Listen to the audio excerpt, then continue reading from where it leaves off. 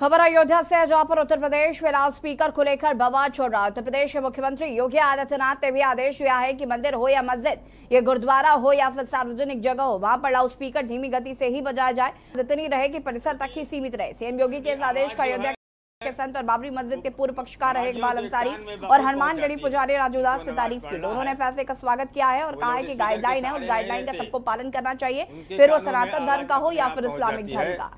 तो हम हर मस्जिद के इमाम से और हर मस्जिद के हमारी एक अपील भी है, जो लाउड स्पीकर के लिए है, कि पूरे उत्तर प्रदेश के जो भी मस्जिद के इमाम हैं मस्जिद हैं, वो अपनी अपनी लाउड स्पीकर की जो है, आवाज़ जो है, बिल्कुल धीमी कर दें।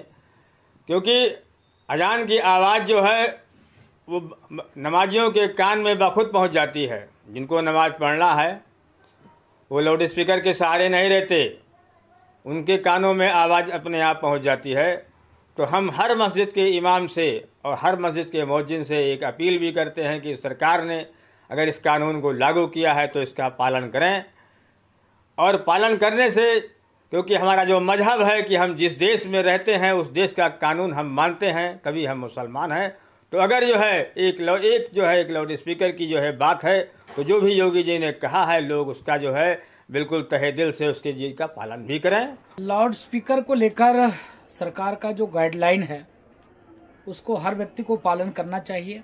चाहे वो सनातन धर्म का केंद्र हो, चाहे इस्लामिक जगत का केंद्र हो, चाहे गुरुद्वारा हो, मदरसा हो, मंदिर हो, क्योंकि उत्तर प्रदेश के यशस्वी मुख्यमंत्री जी का जो दिशा निर्देश है, वह सराहनीय है। वो सभी समुदाय, सभी वर्ग के लिए है एक सामान्य। हम लोग पहले ही हमारे हनुमानगढ़ी पर, जो हमारा बावन एकड़ का परिसर है, उस परिसर से बाहर एक शब्द आवाज़ नहीं जाती। थोड़ा सा मेला हर वक्त भीड़ होती है। इसके नाते जो प्रशासन की जो माइक है, उससे ही कि हाँ आदमी दूरी बना के रखें, लाइन में दर्शन करें, ये बार बार उससे चला करता है।